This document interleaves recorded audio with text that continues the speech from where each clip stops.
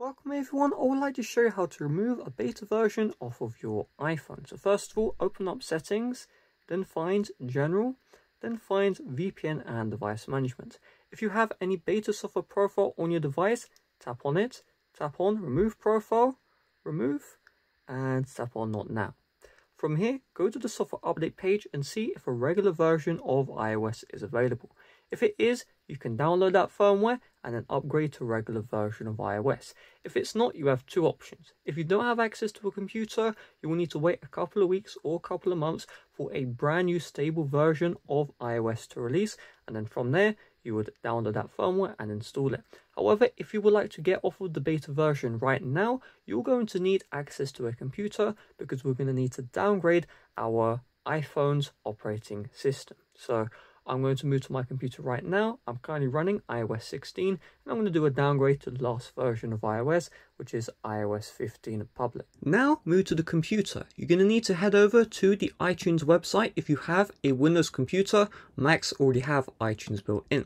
Once you're here, you can choose to get it from Microsoft, but what I recommend to save time, you'll see here looking for other versions, click on Windows and then click on download iTunes for Windows Now 64-bit. Then we need the iOS 15 firmware file. So go to the next link in the description and then select your device. So I have iPhone 8 Plus, so I'll click on iPhone. I'll close out this ad and then I'll find where it says 8 Plus. So you can see iPhone 8 Plus. You can see sometimes there is GSM and Global. Just choose whichever one you would like. And then if the firmware file uh, isn't working on your device, just choose the alternative one. All right, let's click into this one here. And we see signed IPSW. So just choose the firmware file with the tick here. So we'll click into this one and then you see the download, click on the blue download. Alright, I've already downloaded this, so I'm going to cancel it. And so what you're going to do next is you're going to either open up iTunes on the Windows computer or on the Mac, you're going to load up the Finder. Then I want you to connect your iPhone or iPad to the computer, so use your charging cable. On the iPhone itself or the iPad, go to the home screen. It may ask you to trust the connection between the device and the computer. If it does, just click on the trust button on the phone. Then you should see an icon with your iPhone. So on iTunes, it's up here where the uh, cursor is. On Mac, it's here. So click into it and you should see your device. So give it a couple of seconds for this to load.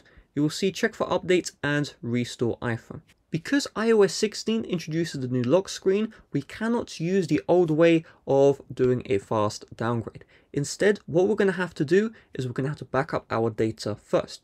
So when you open up iTunes or Finder, it will do a backup. However, it doesn't save to the computer half the time. So don't take any risks uh, with your data. You're going to see here backups. Click on backup all of the data on your iPhone to this Mac or Windows. And then you'll see here backup now Click on backup now and wait for this backup to complete. Once the backup is finished, now we need to uh, flash the firmware file we downloaded earlier. So how do we do that? Let's uh, slide up until you see here, check for update and restore iPhone. Do not use the check for update button. Your iPhone will boot loop if you use it. Instead, don't just cl uh, left click restore iPhone, do the following. So I'm going to put on screen what you should be doing. So on the Windows, hold down the shift key. Do not release. Okay, so release is like this. Just click, uh, click and hold, shift key, and then left click on your mouse or your trackpad, the restore iPhone. Okay, so hover the mouse over restore iPhone, then left click. Now on Mac, you do the same, but instead of using shift, you're going to use option, hold down option, and then left click restore iPhone. So we're going to do that three, two, one, left click, and it says find my must be turned off. So I'm going to have to turn that one off now. So in order to do that, you just go into settings and then you see your name here, tap on it. So I'm just going to uh, go down like this. You'll see find my, tap on the find my, and then find my iPhone, tap on it and turn this one off. Find my iPhone is disabled, so repeat the last step. And this time, boom. So you're going to see the file manager. Now for you, the download is most likely in the downloads folder. For me, it's on my external SSD. I'm going to find it right here. Boom and then I'm just going to click on open. And once we've done this, you're going to see your Mac or Windows will erase and restore your iPhone to iOS 15 and verify the restore. So click on the restore here and just like that, the downgrade is going to do its thing. This will take a while. I'm going to cut to once I'm done. Okay, the downgrade has completed. If you look at the iPhone or iPad, you'll be on the hello screen. uh, we now need to modify the backup so that it will run on the older iOS 15 firmware. So in order to do this, I'm going to have this link in the description. It will bring you to the Apple support page.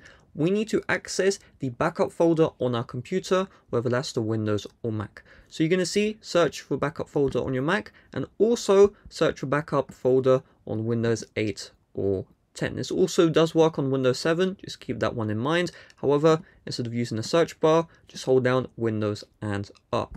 So you need to follow these on-screen instructions. If you have Windows, I have a Mac, so I'm just going to show you these instructions live. So you see here, click the magnifying button and then copy and paste. So what we're going to do is we're going to load up the Finder. Now we'll just click on search, paste, and we'll just give it a couple of seconds or minutes. Okay, so we now are in the backup folder. But you're going to notice I have multiple folders here. If you have one, just click on the one folder.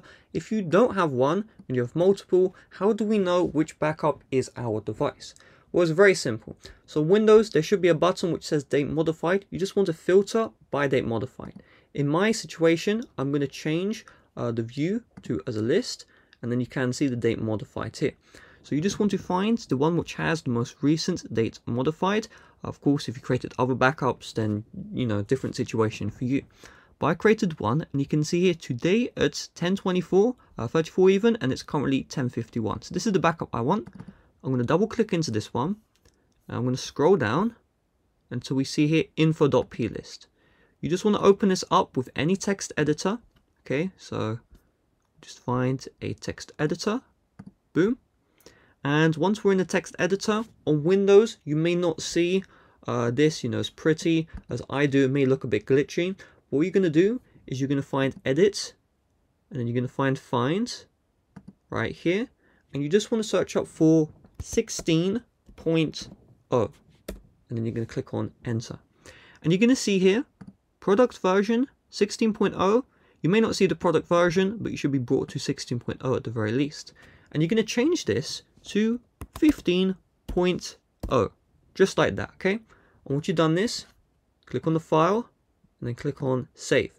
Now, of course, if you're watching on Windows, the process to find the stuff may be slightly different, but just find 16.0, change it to 15.0, and then save the file. Once we've done this, we can go back into Finder or iTunes, click on your iPhone or iPad. It's now going to run the activation and then you're going to see here, restore from this backup. Just select the backup and click on continue. Because we modified the backup, we do not need to worry about uh, you know any errors showing up. Now the backup will restore and just gotta wait for it to finish. Okay, the restore for the backup has finished, so you do not need to have your iPhone or iPad plugged into the computer. The computer is not required anymore, so I'll move back to my regular setup and let's take a look what happens next. So on the device itself, you're gonna see this progress bar here. You don't need to do anything on your end, just wait for it to finish. Okay, now we are brought to the hello screen. So we're gonna see restore completed, tap on continue, and you just need to follow the on-screen instructions uh, to get to the home screen. There we go. Welcome to iPhone. Get started. And just like that, the downgrade was successful. So let's verify. If I go to settings, general, and about, you can see iOS 15.5. So the downgrade did work. No issues. Thanks for watching. See you guys later. Bye-bye.